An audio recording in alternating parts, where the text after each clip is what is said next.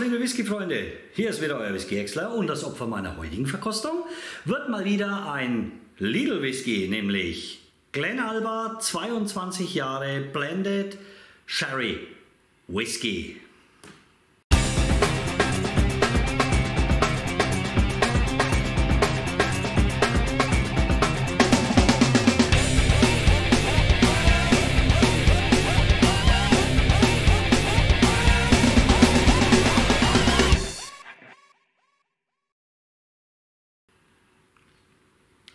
Glen Alba, eine von vielen Lidl Whisky-Marken.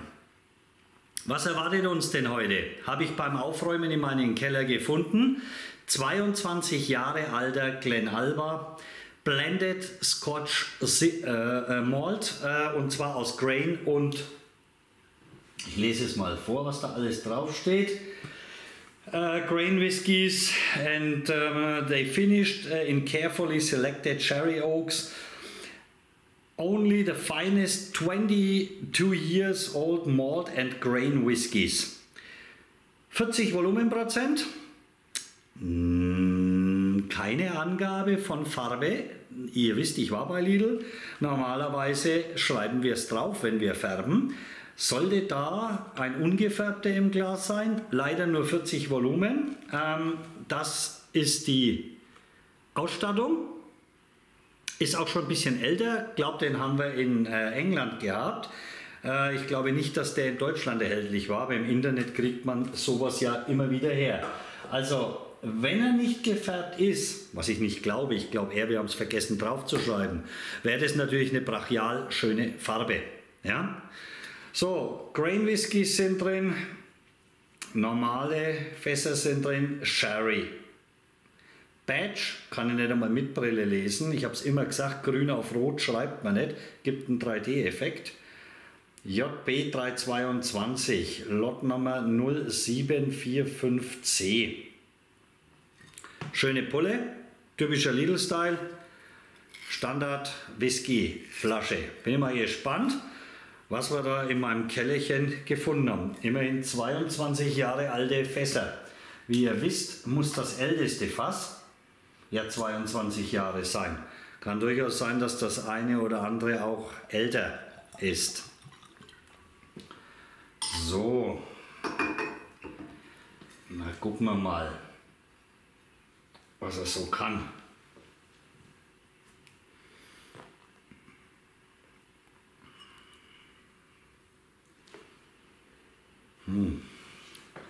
Also, wie gesagt, ich kann mir nicht vorstellen, dass er nicht gefärbt ist. Es steht aber nicht drauf. Normalerweise acht man auf sowas. Wenn das nicht der Fall ist, dann äh, wurde es hier vergessen. Wenn es aber echte Farbe wäre, wäre es gut. Ich glaube es aber nicht. Wäre der erste 40-prozentige Whisky bei Lidl, der äh, ungefärbt ist. Und dann, wenn es ein Blended ist, schon gleich gar nicht. Also, riechen wir mal.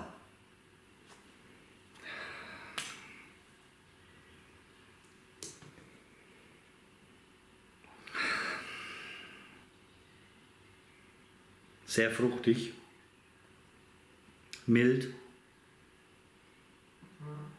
minimaler Alkohol.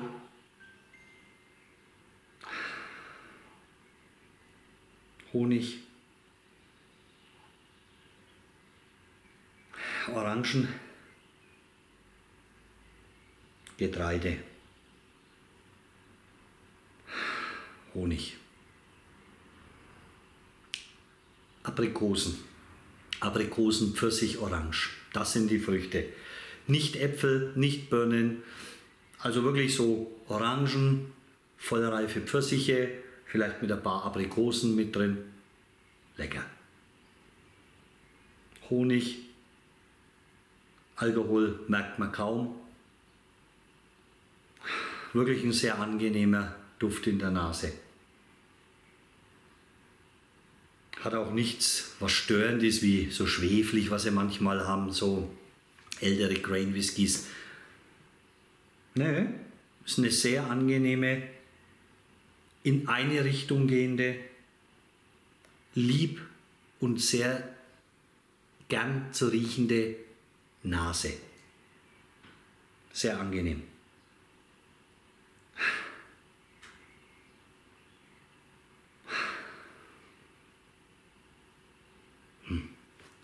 Ist nicht ultra komplex. Wie gesagt, geht ziemlich in eine Richtung, relativ angenehm, sehr fruchtbetont, aber dieses Pfirsich, Orange, Aprikosen-Kompott mit ein bisschen Honig drüber, vielleicht ein kleinem Bündel Kräuter. Also wirklich sehr nice zu riechen. Habe ich schon deutlich schlechtere gehabt. Bin gespannt, was er im Mund hergibt. Auf euch, meine Lieben, Slanche.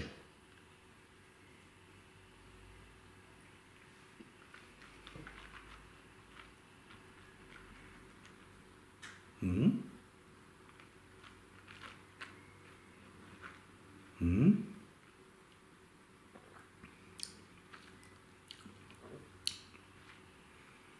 Mm. Oh. Mm. Sehr fein, sehr fruchtig, sehr mild. Da kommt sowas durch. Ich weiß nicht, ob ihr das jemals probiert habt. Ich kenne das noch aus meiner Kindheit. Wenn wir auf der Kirchweih waren, also auf dem Volksfest, da gab es immer einen Stand, der hat Bonbons verkauft. Und da gab es so Glühweinbonbons. Und die haben so einen ganz eigenen, wintergewürzigen, mit leicht orangensäuerlichen Touch. Und genau so schmeckt der Whisky. Erinnert mich total an die letzte Kirchweih der Saison, meistens in Fürth, die St. Michaelis Kirchweih, übrigens eine der schönsten in Deutschland. Ähm, so wie diese Bonbons, die habe ich als Kind geliebt, so schmeckt der Whisky. Hat die gleichen Früchte, die ich äh, in der Nase schon hatte. Oh, und eine wunderschöne karamellige Würzigkeit zieht er jetzt drüber. Also da hat der eine schöne Nase. Keinerlei Fehlnoten. Für mich kommt da auch überhaupt kein Grain im klassischen Sinne durch. Vielleicht das Getreidige vom Grain, das, das äh, riecht man schon. Eine Nase ist hervorragend. Könnte ich echt lange dran riechen. Sehr lecker. Also ich probiere nochmal.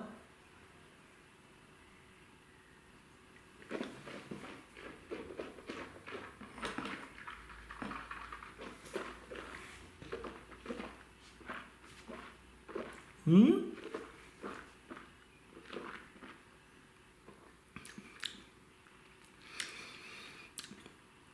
Also auch im Mund hält er genau das, was die Nase verspricht. Ja, dem Whisky würden drei oder sechs Prozent mehr. Also ganz ehrlich, Leute, dann wäre das echt eine Granate. Schmeckt richtig lecker, wenn man Whiskys mag, die in diese Richtung gehen. Fruchtkompott und zwar dieses, dieses Aprikosige mit Orangen und Pfirsich, was ich sagte, was ich schon in der Nase hatte. Und dann dieser Glühweinbonbon-Touch und Honig. Also wirklich keine Fehlnote drin. Ich kann euch leider nicht mal sagen, was der Whisky kostet oder gekostet hat. Äh, ich habe den gefunden und mir war es einfach ein Bedürfnis, den jetzt aufzumachen. Ich glaube, ich habe den damals auch als Musterflasche äh, mit nach Hause genommen. Ähm, ich muss da echt im Internet mal recherchieren, was der kostet. Also es ist wirklich ein super leckerer Whisky. Du merkst dem Whisky auch an, dass er eine gewisse Alters Grenze locker überschritten hat. Also der Whisky schmeckt auch nicht jung. Er schmeckt einfach nur gut. Mehr möchte ich dazu nicht sagen. Nochmal, kein Komplexitätsmonster. Äh, dem Daten 3% Minimum Alkohol natürlich nochmal einen Schub nach vorne geben. Ah, echt schade. Aber für das, dass der nur 40 hat, wahrscheinlich gar nicht so teuer war, ist das echt ein leckerer Whisky. Den würde ich mir, wenn ich ihn finde, sogar nachkaufen. Wenn der nicht mehr wie 50 Euro kostet, dann würde ich den als klare Kaufempfehlung aussprechen. Der Abgang ist kurz bis mittellang. Was aber, nee, kurz ist er nicht. Ich habe ihn immer noch im Mund. Und ich habe immer noch diese Note von der Kirchweih hier an der Gurgel hängen. Wirklich, dieses leichte, winterliche Gewürzbonbon. Wunderschön. Also wirklich. Also der, der der wird leer werden bei mir. Also wenn jemand was will davon zum Probieren, dann meldet euch schnell, weil ich glaube, den mache ich schnell leer. Ähm, ist jetzt mal einer von den Whiskys, auch von Lidl, ist jetzt mein dritter, den ich hier natürlich vor der Kamera verkoste und es soll auch nicht rüberkommen, als wenn ich, weil ich da gearbeitet habe, befangen bin.